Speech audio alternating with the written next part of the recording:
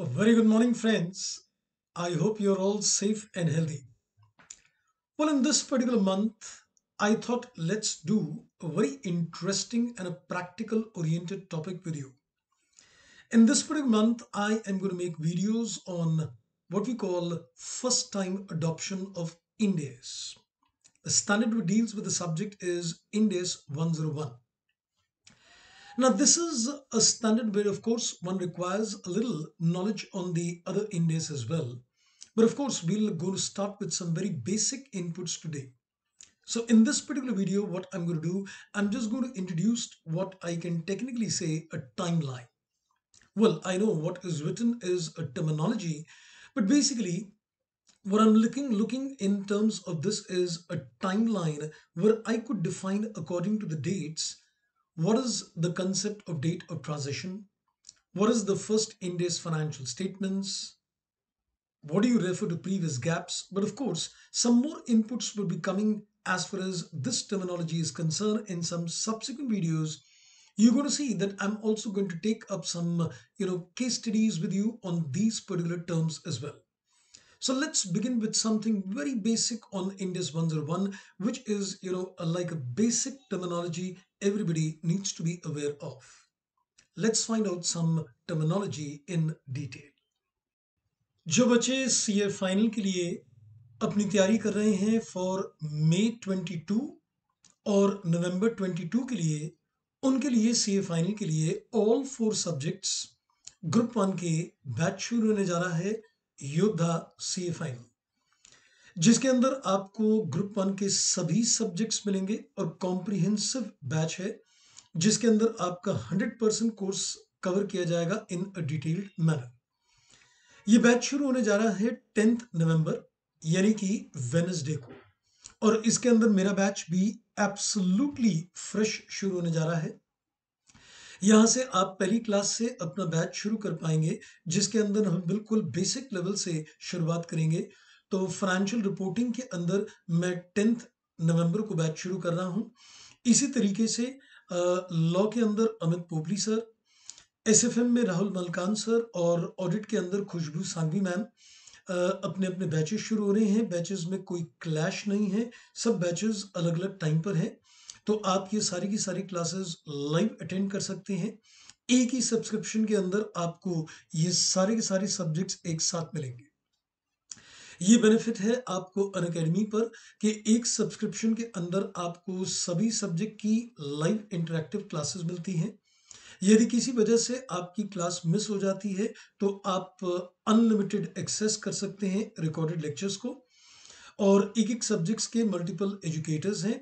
और every fourth session is suppose to be a doubt clearing session जो हर week आपका फोर्थ सेशन डाउट क्लियरिंग होता है। साथ में आप मॉक टेस्ट सीरीज़ भी आपको प्रैक्टिस करने के लिए मिलती है।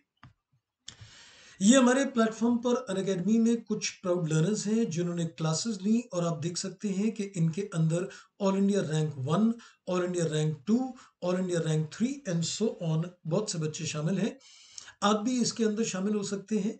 बस सिर्फ़ आपने थोड़ी सी प्लानिंग करनी है और अपनी तैयारी को मज़बूत करना है। बैचेस की ज्वाइन करने का लिंक आपको डिस्क्रिप्शन बॉक्स के अंदर मिलेगा और जब आप इसके अंदर बैचेस ज्वाइन करते हैं तो उसके लिए आप डिस्काउंट भी अवेल कर सकते हैं। आपको मेरा कोड इस्तेमाल करना है C A K B ten and you can get a ten percent discount immediately ये कुछ अलग अलग प्लान्स हैं जिन पर आप नज़र डाल सकते हैं और जो आपके बजट को सूट करता हो। जैसे आप सिर्फ़ प्लान ग्रुप वन लेना चाहें तो ग्रुप वन ले सकते हैं, आप ग्रुप टू लेना चाहें तो वो भी ले सकते हैं और अगर आप दोनों के कॉम्बो ऑफर्स प्लान कर रहे हैं तो वो भी आप दोनों कॉम्बो ऑफ़र ले सकते हैं। तो करना कुछ नहीं है, सिर्फ़ अपनी प्लानिंग कीजिए और फटाफट से इन बैचेस को ज्वाइन कीजिए। तो टेंथ नवंबर को शुरू होने जा रहा है योद्धा कॉम्प्रीहेंसिव बैच तो किस बात का इंतज़ार है आइए let's crack it Well, let's take an example that the year 2016-17, a company decided that it wants to make its financial statements as per Ind AS. So we can technically say that this is the year of adoption of Ind AS. That means the company decided on 1st April 2016 that the financial statements for the year 1617 is going to be made as per Ind AS. Now, this is what we call the financial statements as the first Ind AS financial statements. But what is important is that when the company presents the financial statements for the year 1617, those financial statements must contain what we call an explicit and unreserved compliance with Ind AS, which means it has to be explicitly mentioned that yes, the financial statements are in compliance with Ind AS and it should be a hundred percent compliance. That means it should not be a situation, you know, where we say that it's a partial compliance. So there has to be a all 100% compliance with the Ind AS and that is explicitly mentioned in the financial statements. Now, when a company would present a financial statement for 1617, we know we also need to present the comparative financial statements as well. That means in this particular example, we can say the year 1516 is supposed to be the comparative financial statements. Now, so if you look at the year 1516, those financial statements must have been presented using what we call a previous GAAP. That means the financial statement for 1617 is what we are saying is the first Ind AS financial statements. But as far as the comparatives are concerned, they were prepared in accordance with the previous GAAP. Now the question also arises, what do you mean by a previous GAAP? The standard makes it very clear that, you know, previous GAAP is something which was being used for the purpose of statutory reporting in India. Mind the words, I'm putting an emphasis that a previous GAAP would mean that the you can say the financial statements were prepared in accordance with which GAAP for statutory reporting in India. We'll see later in the coming videos that if a company is, let's say, making financial statements as per IFRS, maybe for the purpose of meeting the reporting requirements of the parent entity, and it is also preparing the financial statements, let's pay, let's say as per the Indian GAAP there is i GAAP. Then of course the previous GAAP is what is being used for the purpose of presenting financial statements based on the i GAAP. So in this particular case, you can say the comparative, which is the 1516, is something which is also to be presented as per Ind AS.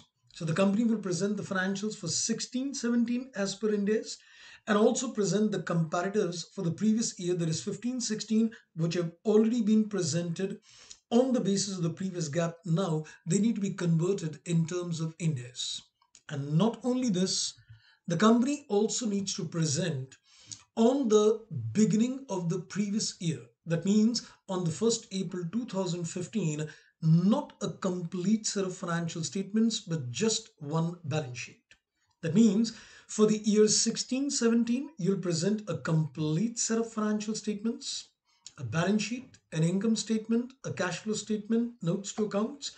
The same is going to be done for 1516, a complete set of financial statements, but at the beginning of the previous year, that is 1st April 15, you just need one balance sheet and that's called the opening Ind AS balance sheet. Or we sometimes you know call this as a third balance sheet. And if you recall, this is a similar concept what we do when a company goes in for a change in accounting policy and you apply the concept of Ind AS 8 which tells us to do a retrospective accounting if the change of the policy is material in nature. You do present a third balance sheet, which is at the beginning of the previous year. So in this particular case, also a complete set for the current year, a complete set for the comparatives and a third balance sheet. That's called an opening Ind AS balance sheet. And this Ind AS opening Ind AS balance sheet becomes something what we can say is the starting point of Ind AS. Now, a small little clarification, having understood that there is a date of transition, having understood the previous GAAP for the comparatives, having understood the first Ind AS financials for the year 1617, can a company go in for a transition date earlier than 1st April 15 as well? And the answer is, of course, a no. You know, let me give you a clarifications that let's say in the same example, the company wants to consider that we want to make 1st April 14 as the date of transition for the reason that we were, you know, let's say following the IFRS at that time. So the entity had already adopted IFRS and the transition date was uh, 1st April 14. Not tenable. You cannot take that as a date of transition. And even if the entity chooses to present, let's say, comparative for another period, because you know you can present more than one period of comparatives as well. So apart from presenting the comparatives for the year 15-16, you choose to present the comparatives for the year 14-15 as well. That is still not tenable. So the date of transition is, of course, a fixed date, which you can say is going to be the beginning of the previous year comparatives. So I think today what we understood is something very basic indeed that the year in which you say I want to adopt Ind AS for the first time is called the first Ind AS financial statements. Then the previous comparatives made as per previous GAAP also need to be translated into Ind AS and then one opening third balance sheet on the date of transition and the date of transition cannot be earlier than the beginning of the previous reporting period. That's all in this particular video. More to come in this particular month on Ind AS 101. So keep watching. Thank you. Take care and goodbye.